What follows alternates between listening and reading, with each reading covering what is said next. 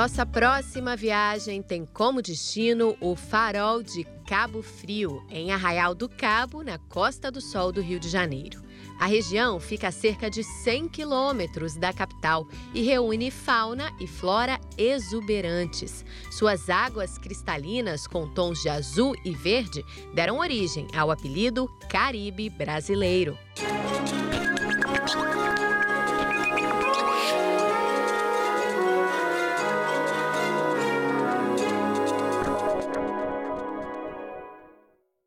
Ilha onde fica o farol é considerada patrimônio da União e, por isso, tem proteção da Marinha do Brasil. Formada por paredões de rochas geológicas com mais de 52 milhões de anos, ela reúne natureza, cultura e muita história.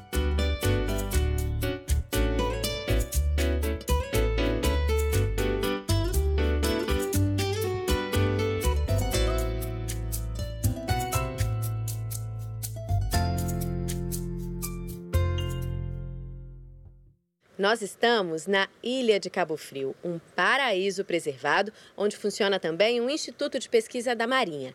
Aqui foram construídos não apenas um, mas dois faróis. O primeiro, inaugurado em 1836, ficava alto demais, encoberto pela névoa. Já esse foi inaugurado em 1861 e fica a 140 metros acima do nível do mar.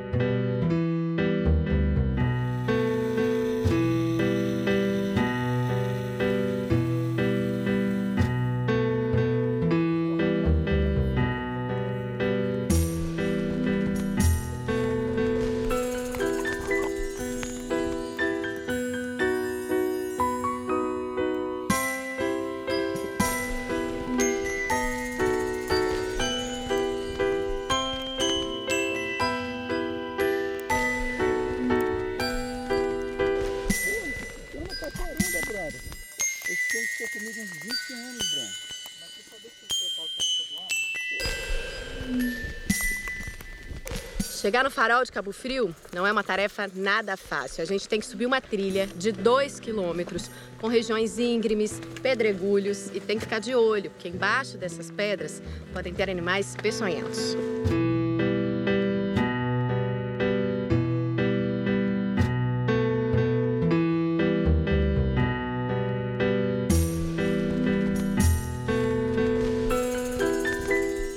Altura de 16 metros, o atual farol de Cabo Frio emite uma luz com alcance de 49 milhas náuticas.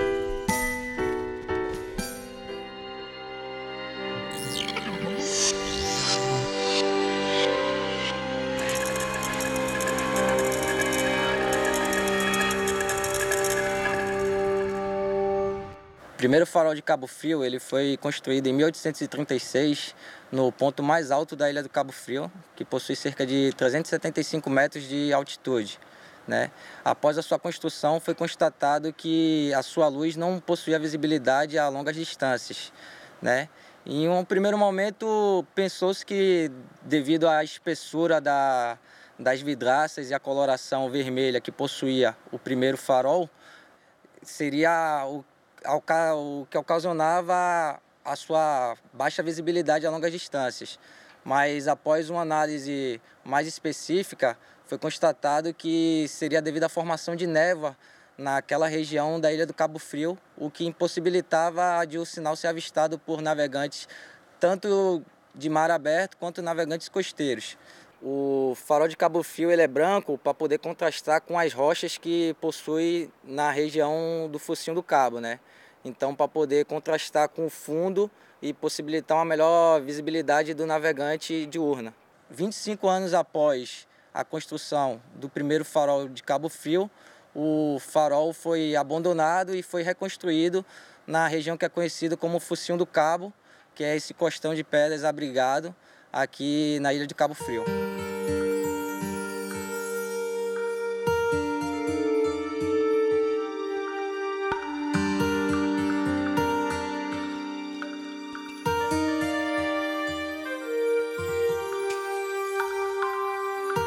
Seu aparelho luminoso, com lentes de cristal, fornece lampejos a cada 20 segundos.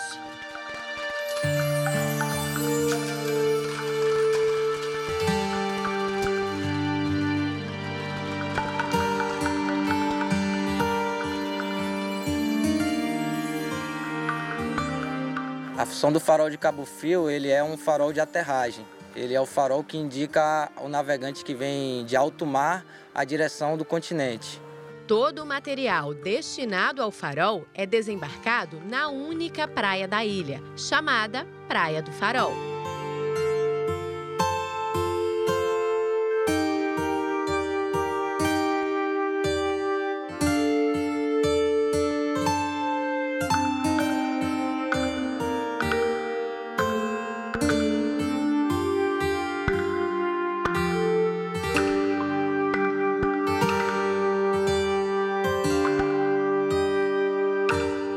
Para guarnecer o farol de Cabo Frio, eu passei por um processo seletivo no, na minha OM, onde eu sirvo.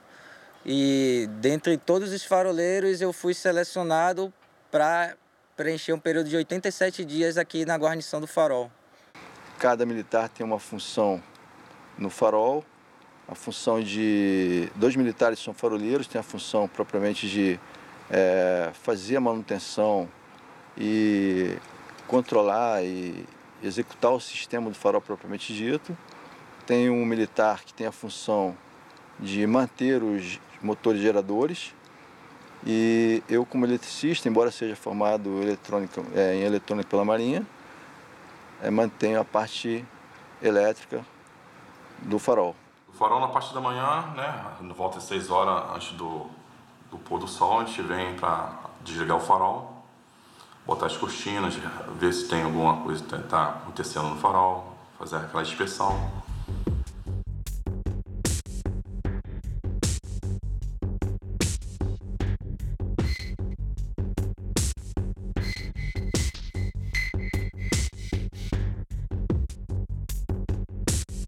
Os faroleiros são responsáveis pela manutenção das lentes e de todo o equipamento que sustenta o farol. São lentes de cristais, né? Aqui é uma lanterna de primeira ordem. É, é, tem oito olhos de bois. Tem cada faixa branco que tem a lanterna tem um intervalo de 20 segundos. Tem um, dá um alcance à noite para o navegante de 56 milhas ou 49 milhas.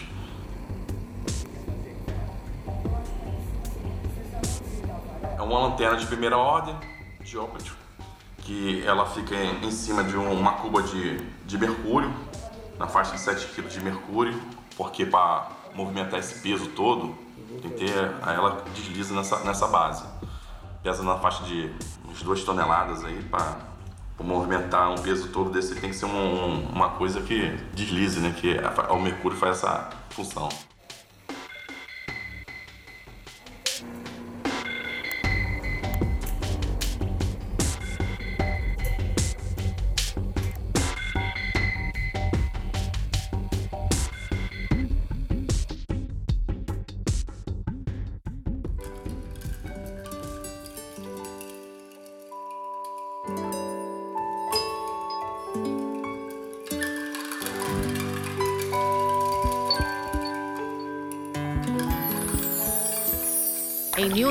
1906, o navio holandês Hartingen afundou próximo ao estreito que separa a ilha do continente. Os destroços do naufrágio atraem mergulhadores até hoje.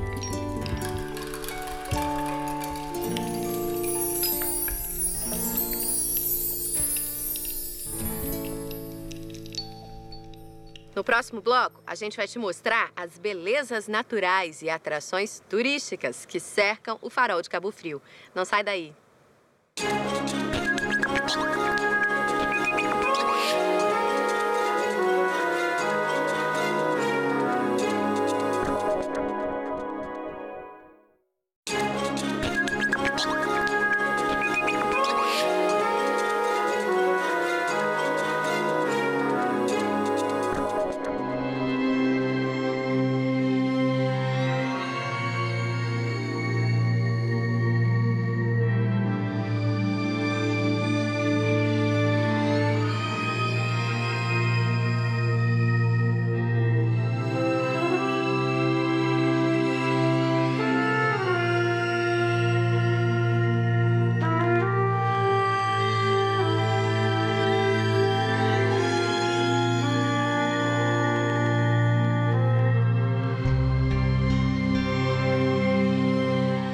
Ilha de Cabo Frio é um patrimônio da União, protegido pela Marinha. Por isso, a entrada aqui é controlada para garantir a preservação dessa riquíssima reserva natural de Mata Atlântica cercada pelo mar. Toda a beleza do lugar inspirou artistas como o pintor Ailton Salles, que retratou a Praia do Farol e o sinal náutico em várias de suas pinturas.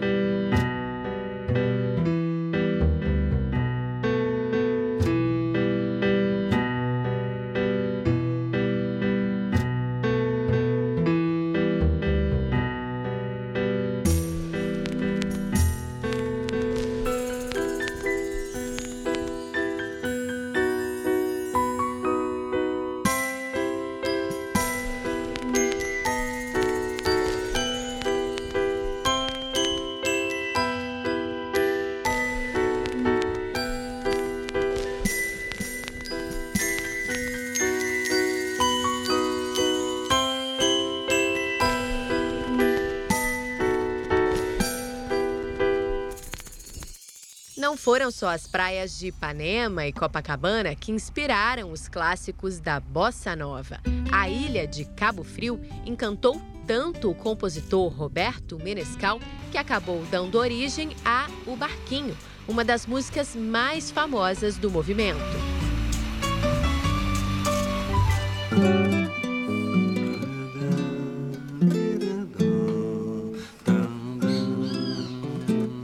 Dia de luz, festa de sol E um barquinho a deslizar No macio azul do mar.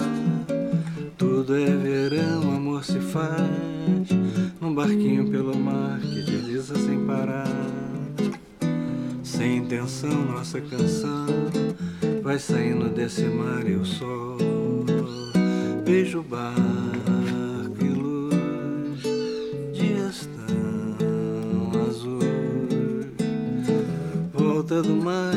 sol E um barquinho a deslizar e a vontade de cantar.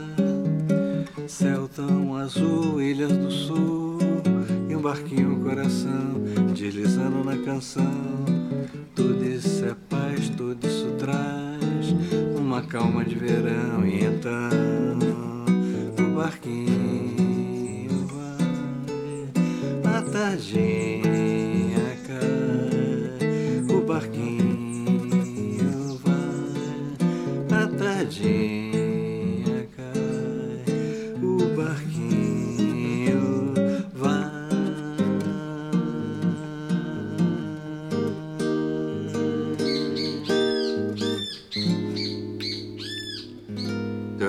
pescador de mergulho daqueles tremendos, matava os peixes todos da vida, né? Hoje estou pagando tudo, estou restituindo tudo à natureza. Mas era muito fanático demais, né? E, e tava, a Cabo Frio era minha base, todo fim de semana em Cabo Frio. Tinha uma casinha lá e tinha um barquinho também, que depois passou a se chamar O Barquinho, né?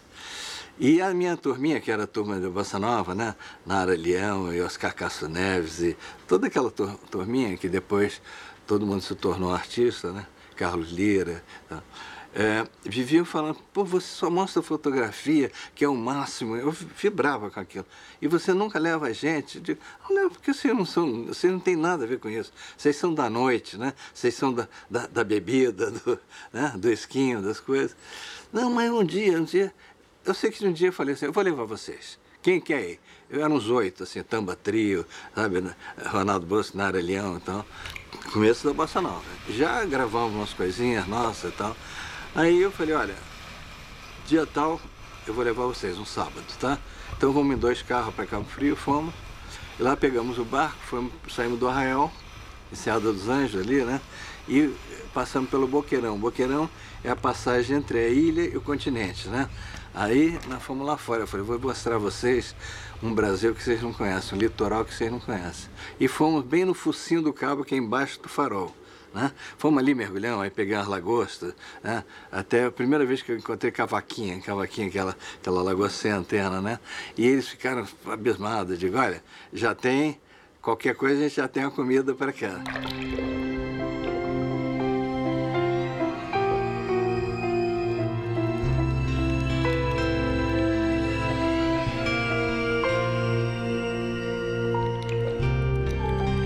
Chegou às três horas da tarde, a turma com fome e tal, e aquela, aqueles guaranás que eles levavam no, no caixote, guaraná com rolha, né? Era tudo rum as garrafas de rum que botaram no Guaraná, né? Aí, aqui, eu digo, ok, liberado, vamos lá, sanduíche e tal. Chegou às três e meia, bom, vamos voltar ali para a costa do, da ilha, né? O barco não pegou. Nada, tá, e, taca, e foi até esgotar a bateria. E o pessoal apavorando, porque viu a ilha foi ficando longe sabe? Foi ficando. Ali tem um vento leste que é danado, as árvores nascem até assim, né? Inclinado. Aí, bom, espera aí, e não, daqui a pouco pega, daqui a pouco deixa, deixa descansar o motor. E foi eu já na manivela, porque não, já foi a bateria. Taca, taca, taca, taca, taca, taca, taca, taca, taca, morria. Taca, taca, taca. E o pessoal, e foi ficando sério. Chegou seis horas da tarde, parecia uma embarcação grande que vinha da Bahia. Aí fizemos, botamos as roupas, né? Roupa colorida, assim, no, no remo para eles verem. Né? Aí o barco veio e deu uma carona pra gente, botou uma corda. E aí a gente brincou, né? Nem, nem sei como é que começou a gente. O barquinho vai, a tardinha cai, a tarde chegando, Cabo Frio, linda, né? Aquela tarde. E vai, fomos embora. No dia seguinte, na casa de Nara Leão, já tomando um esquinho do pai dela, né? Escondido, né? O Bosco, que era meu parceiro, falou, como era o negócio do barquinho lá que você estava fazendo ontem? Eu falei, o barquinho vai. Ah, tá. Não, isso eu me lembro. Isso a gente fez, cantou na hora lá. Não, do motor. Eu digo, Ronaldo, do motor não brinca. Eu fiquei acho umas duas, três horas ali naquela coisa, né? Não me lembro. Ele falou, tenta lembrar que você fez uma coisa meio rítmica, que era boa. Depende, dá pra gente fazer uma música. Aí eu comecei a lembrar, taca, taca, taca, taca, taca, taca, taca, taca. E eu me lembro que eu fazia meu nome taca, taca, taca, taca, taca, taca, taca, taca, que era o motor quase pegando, né? Taca, taca, taca, taca, taca, taca, taca, taca, taca, até morrer. Então o Ronaldo falou, bacana. Mas é o seguinte, vamos esquecer que foi uma coisa aflitiva, né? Porque de noite, a gente ficar ali de noite, ali é roteiro dos navios que vêm da Europa e vêm do Nordeste também. Passo justamente ali que é, um, é fundo ali, né? E a gente sem luz, sem nada, né? Ia ser perigoso. O Ronaldo falou, bom, esquecemos o perigo, vamos transformar aquilo numa aventura bacana, né? numa coisa de, de festa, de, de luz, né?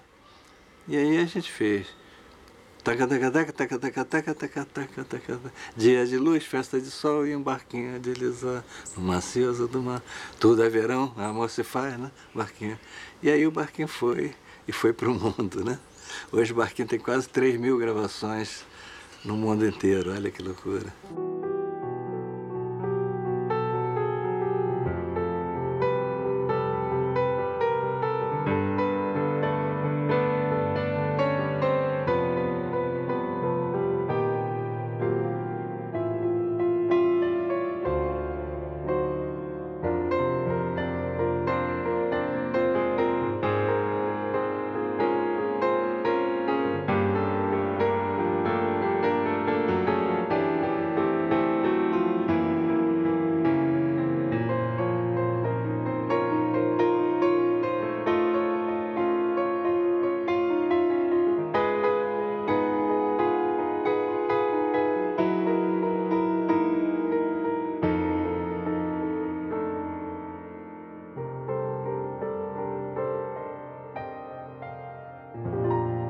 Meio de tanta beleza natural, fica o farol de Cabo Frio. Desde o século XIX, ele ilumina os navegantes que passam aqui pelos mares de Arraial. Daqui a 30 anos, se eu voltar no farol de Cabo Frio, ainda vou me surpreender com muitas belas imagens que aqui a gente encontra, né? Porque aqui, cada dia é um dia diferente. Cada dia é um pôr do sol diferente, um nascer do sol diferente e um anoitecer diferente.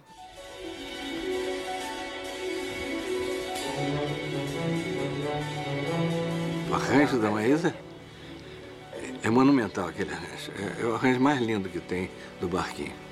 E foi o primeiro arranjo orquestral do, do Luizinho Essa. Primeiro. Cordas maravilhosas e tal.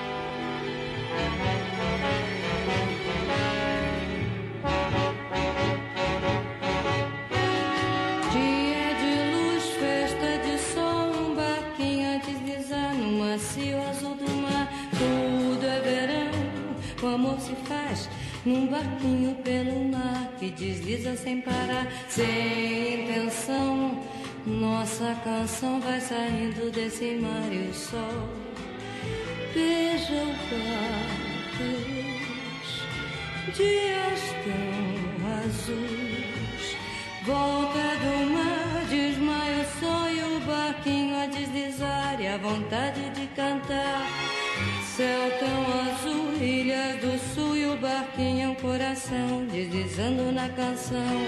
Tudo isso é paz, tudo isso traz uma calma de verão. Então o barquinho